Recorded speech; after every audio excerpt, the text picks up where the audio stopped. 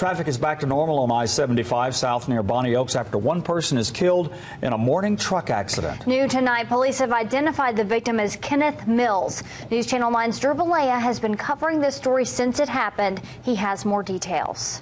A morning wreck on I-75 South kills the driver of this semi and also injures several others involved in that crash.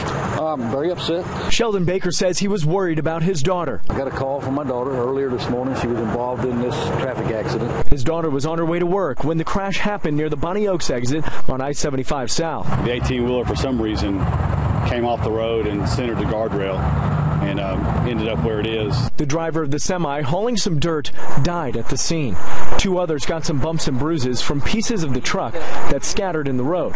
Baker's daughter told him what she saw. The car swerved in front of her, and when that car swerved, a set of tires come up in front of her. Baker says his anxiety and worry subsided when he was able to get to his daughter. First, of course, I hugged her, made sure she was okay, and told her not to worry about the vehicle or anything. Just as long as she's okay, that's all that matters. The semi driver's death is the 26th death on a Chattanooga road this year. That's one more than all of 2014. Our priority is to, to investigate the fatality properly. Uh, TDOT's priority is to get the interstates open, and when we work together with them. Traffic on I 75 was shut down for more than two hours this morning, but has since reopened.